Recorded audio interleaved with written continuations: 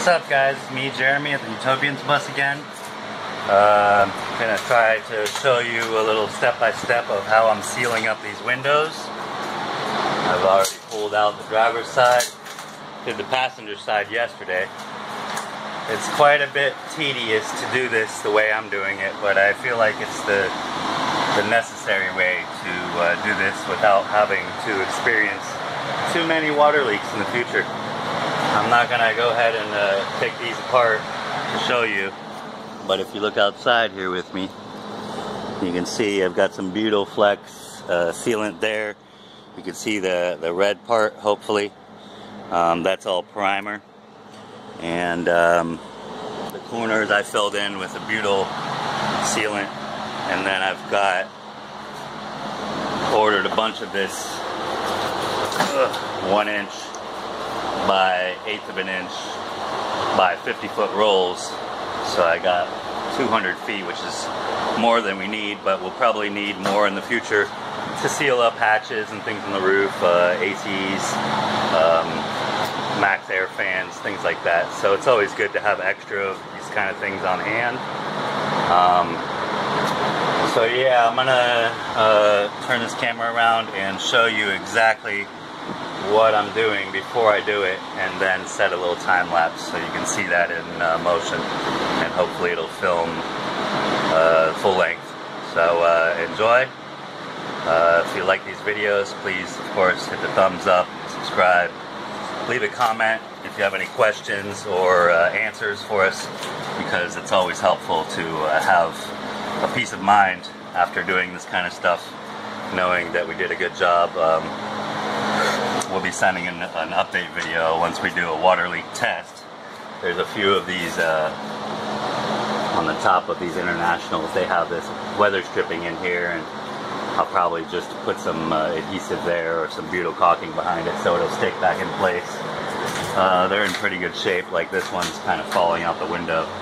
So I'll just put it back up there and seal that in. But uh, more importantly, uh, let me show you what I'm doing. So hopefully you can see this. Uh, these are the corners of these international buses and I'm trying to shade this from the sun because we're on the sun facing side so that adds for extra sweat today. But basically you'll see a little bit of spot rust happening in those areas. It's, it comes back pretty pretty quick. But what I've done here is taken the liberty of uh, not only peeling off that um, old butyl that was there, or putty or whatever they used, but I've uh, ground this down with a wire wheel down to bare metal. You can see a little bit better one here. Um, I'll go ahead and hit that with a little abrasion, a little uh, scrubby, you know, just to knock that surface rust down again. But in these corners, we've got this uh, little flashing stuff, and it's uh, sealed in there by one rivet, and then it's got this, you know, uh, it's like flashing, but it's not attached. It's it's loose in there. And when I peeled up all this corner stuff, see that's a little dusty. Maybe you can see that. So I'll go in there with a shop vac and, and dust that out. But essentially these pieces are not secured in there as well as this uh, front lip. So what I'll do after cleaning this up is apply a thick layer of uh, butyl sealant and that's what this stuff is uh, Flex rubber sealant. It's uh, for lap joints and exterior siding stuff. It's great for gutters and flashing. And it's, uh, if you read that, it says ideal for sealing metal joints, which is what that is essentially. Uh, it's paintable, it's watertight and weatherproof, durable and flexible. So it doesn't really, it will start to firm up like a caulking would or a silicone, but not all the way. So there will always be a little bit of flexible thing there. I'll show you this other window. You can see down there. It's uh, it stays flexible, so it's great for uh, sealing up weatherized stuff. Uh, you can paint it, which is what you see in that red area that's been primed. So basically, what I'll do, uh, just to get to the point here, is I'll, I'll pop a rivet in right about there or anywhere just to kind of suck up this piece of metal to make it stiff and firm in there and then you'll see you'll see my finger in there um, that hole is going to collect water And originally they had a bunch of really hard caulking in here, but I peeled it out with a flathead screwdriver uh, to the best of my ability. There's still some gunk in there. Uh, to expose that big hole because chances are, here's another one.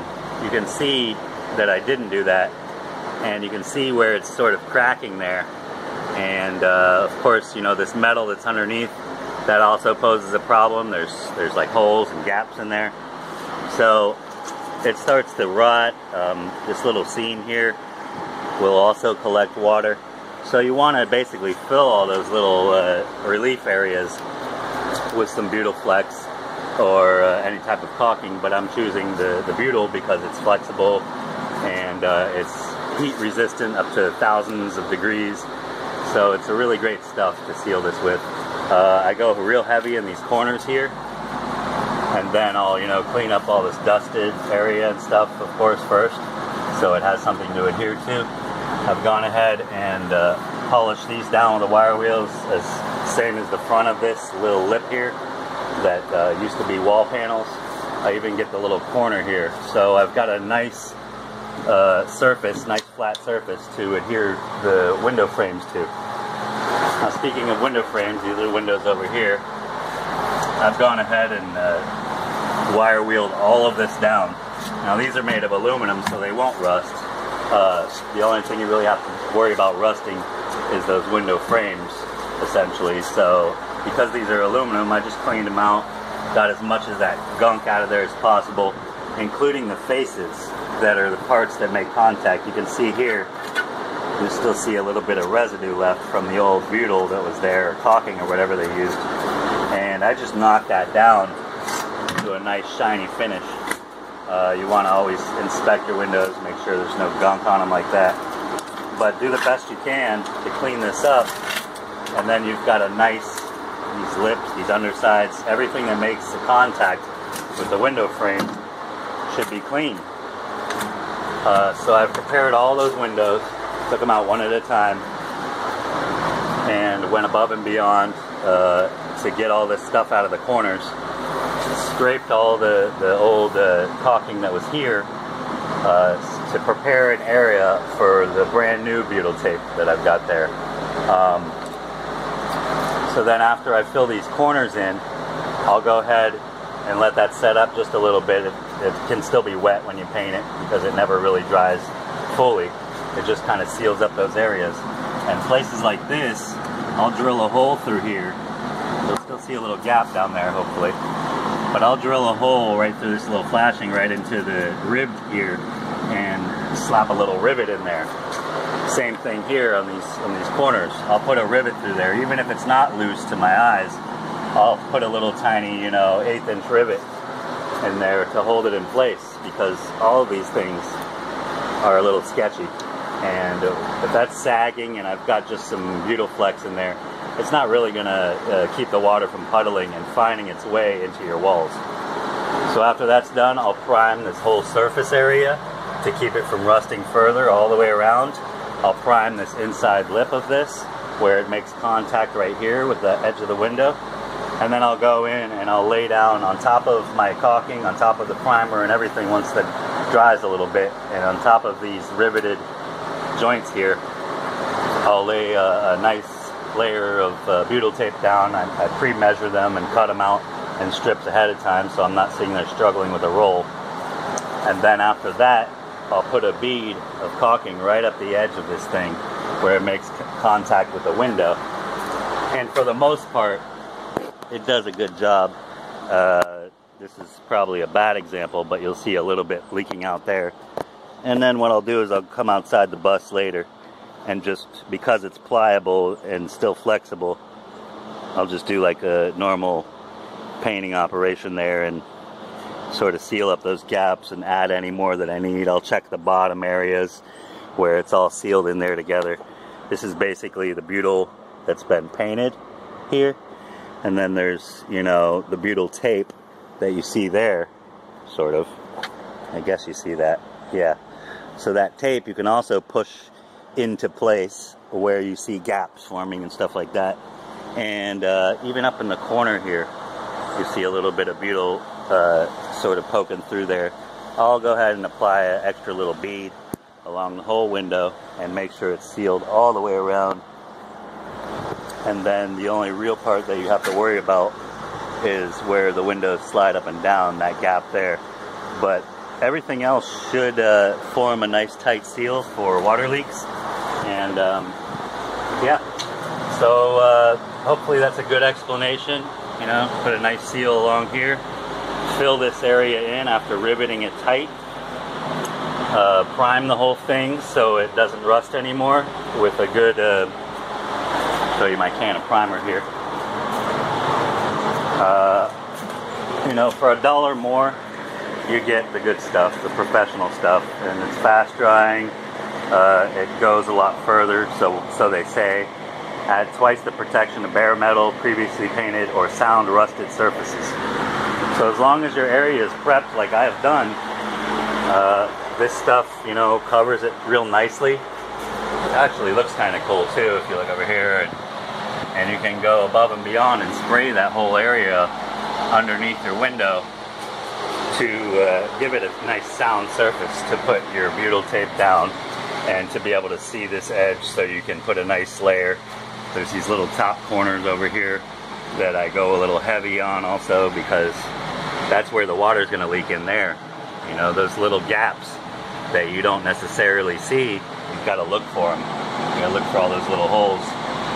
So uh, yeah, hopefully that's a good explanation. Sorry for dragging on this uh, explanation for so long, but I really wanted to get in here and show you what I'm doing uh, versus what some other people are doing and, and struggling uh, with leaky windows down the road. Um, the same thing goes on the roof when we get to that point. I'm gonna go up there, you know, and pressure clean around the rivets and the and the joints in there, and and make sure it's all uh, tight, you know, because these rivets start to rust through, you know, and you'll get little water will find its way. Sometimes it'll go upwards and stuff. Uh, if you've ever done any roofing, you you know that it's it's not always predictable what happens. So yeah, uh, set a uh, time lapse here. Try to angle it so you can see the work that I'm doing. And um, thanks for following along. Uh, of course, like, subscribe, comment, all that good stuff. And uh, until the next update, thanks for watching. This is Jeremy signing off for the Utopians. Enjoy the time lapse.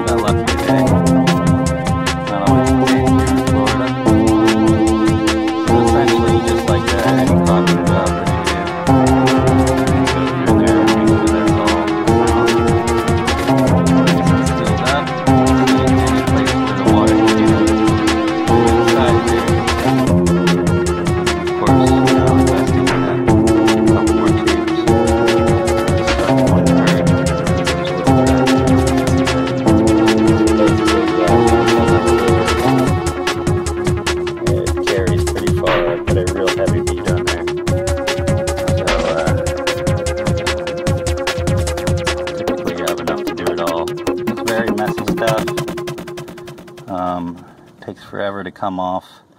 I found that like a Brillo pad with the stuff in it uh, helps to scrub all this away once you get home. But I'm not really concerned about this too much. You know, as long as it adheres and it goes in there appropriately, I'm not real worried about what it looks like right now because we're going to paint the whole outside of this bus. But essentially, uh, you get the idea. Oops. I was just going to say, try to keep it off the windows, but uh, it'll scrape loose with a razor blade. And like I said, it doesn't dry all the way hard like most caulking and silicone does. But uh, yeah, I think I'm just going to leave this for now and come back tomorrow. And uh, go ahead, you know, with a little scraper and, you know, maybe an extra bead of this stuff. I might need to pick up another tube or two to go along that seam. Even though, if you look under there, I mean, you can't really see that but there's that one inch butyl tape that's nice and uh, planted in there. Like here it's sort of overlapping and there's plenty of excess. So what I may do in that case where there isn't you know this lip which is, doesn't look like looks like these are the only windows that have that and maybe there's emergency exit so the back windows have this little lip I guess for extra support or something but I'll go through here and you know slice that extra away or maybe just keep it there and you know cinch it down like that and make sure that it, there's no cracks or anything showing. It's better to do this forming stuff when it is hot which is no problem here. But essentially uh, yeah I think that'll do the trick as far as waterproofing these windows go. Now there there's some areas along this rub rail that are a little rusted on top uh, that's mostly primer what you see there but um, I'll go back through, you know, and if I see any little cracks like this, uh, even up here on top of this lip, if any of this sealant has gone bad, I'll go ahead and reseal that. Uh, all these little joints, every little rivet that I see that's missing or that has a space in it, I will go ahead and uh, seal that up. So by the time I'm done with all that and all this uh, extra work, hopefully I can put a water hose on this, spray it down, and not find any leaks. So I, I hope you guys enjoyed the time lapse. I'm sorry that it was out of focus. I realized that after watching the preview. Um, it's just is what it is when you're dealing with a cell phone technology. So hopefully you're enjoying these videos. I've got quite a big mess in here. Um, our welder showed up yesterday and looked at this and uh, said he would go home and give me a ballpark figure. Um, we're trading off for some work. So as soon as he gets that done, I'll uh, try to film that and show you what we're doing to patch this floor up in a very sturdy way, structural way. And uh, also throw his name out there, you know, for anybody in Florida who needs a good welder or would be willing to pay to have him come out and help out. So yeah, um, both sides of the windows are done. That's nice because now I can eat my little uh, bag lunch. I got some ice for the water cooler. I made myself a sandwich this morning. And uh, it's probably around lunchtime, maybe a little bit after that. But uh, today definitely went smoother than yesterday. Yesterday was my learning curve. Today I've applied that learning to this side and haven't made as many mistakes and I'm hoping that uh, it's going to work well. So thanks for joining once again. Um, Utopians Bus. Jeremy signing off. Till next time, peace.